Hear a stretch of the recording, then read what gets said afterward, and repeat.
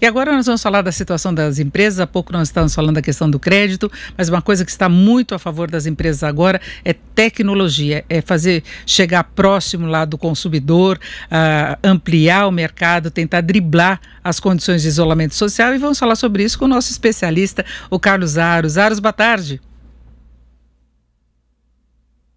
É isso mesmo, né? A tecnologia se transformou na possibilidade talvez a única possibilidade para muitos de manter a empresa funcionando, de conseguir viabilizar negócios em um período bastante delicado.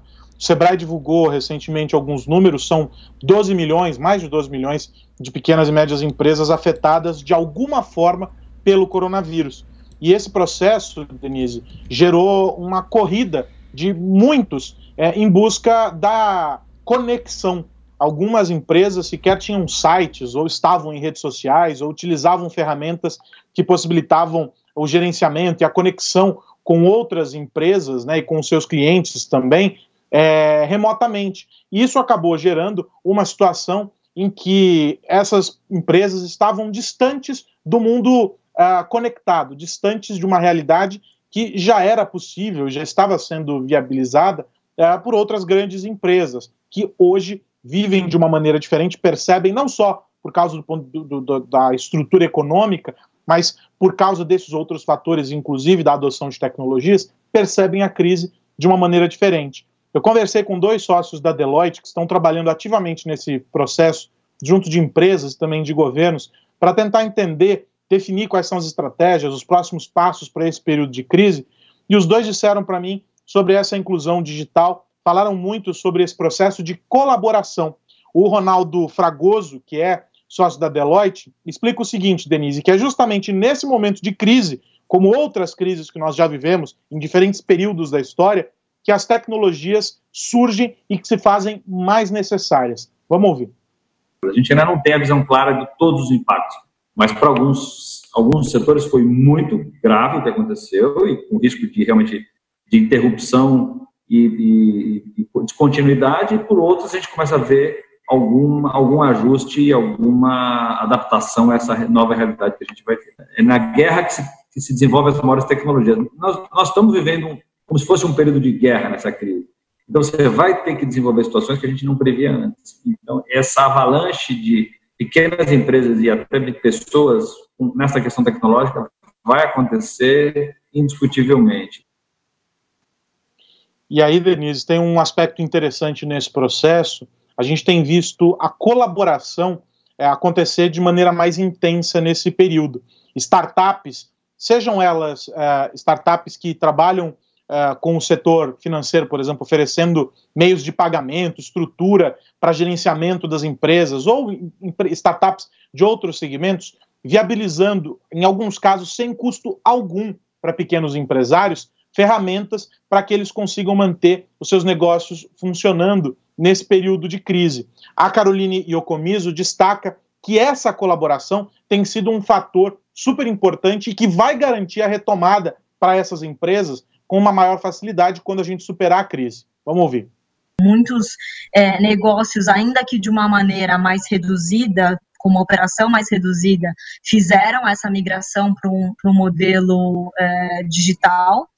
É, e aí a gente vê também uma série de ações é, desenvolvidas por startups e outros players, é, visando aí realmente colaborar com esse ambiente de pequenas e médias empresas. Então a tecnologia entra desde do, do conceito mais básico, né, que é fornecer ferramentas de colaboração para que as pessoas trabalhem, até um propósito maior aí de combate realmente à doença. E fica claro, Denise, que embora a gente não tenha todas as respostas, e dificilmente a gente vai conseguir todas elas, né? Então, para todas as perguntas que estão surgindo nesse momento, uma das respostas a gente sabe é por meio da tecnologia, sim, que nós vamos conseguir atravessar esse período uh, bem mais difícil da crise, seja do ponto de vista do consumidor ou do lado das empresas.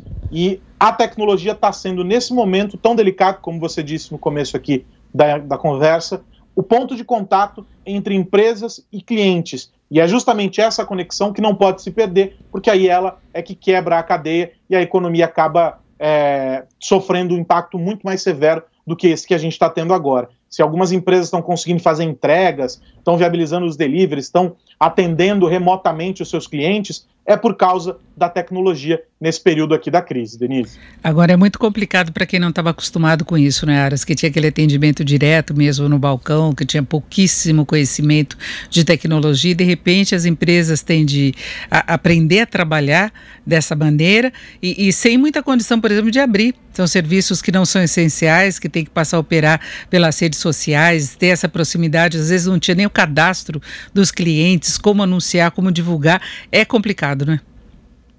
É muito complicado, Denise, e a gente tem alguns extremos nesse processo. Né? A gente tem, por exemplo, os médicos cuja essência uh, uh, do trabalho é a, a, o olho no olho, é o contato, é a proximidade com o paciente, e que estão sendo obrigados agora, na maior parte dos casos, a fazer os acompanhamentos, os atendimentos à distância. Então, nesse, esse é um caso extremo em que a gente percebe em que não há outra possibilidade que não esse contato próximo, e aí a tecnologia entra como um paliativo. Os médicos, evidentemente, preferem, e os pacientes também, é claro, o contato próximo, olho no olho, né, o, o exame ali, né, com o toque físico e tudo mais, justamente porque se sentem mais acolhidos. Do outro lado, a gente tem alguns setores em que se havia uma discussão sobre, ah, não é necessário, a gente consegue fazer tudo à distância, vamos lá com o aplicativo, pelo site, e os dados vão permitir que a gente conheça os nossos consumidores, nós vamos atender muito melhor.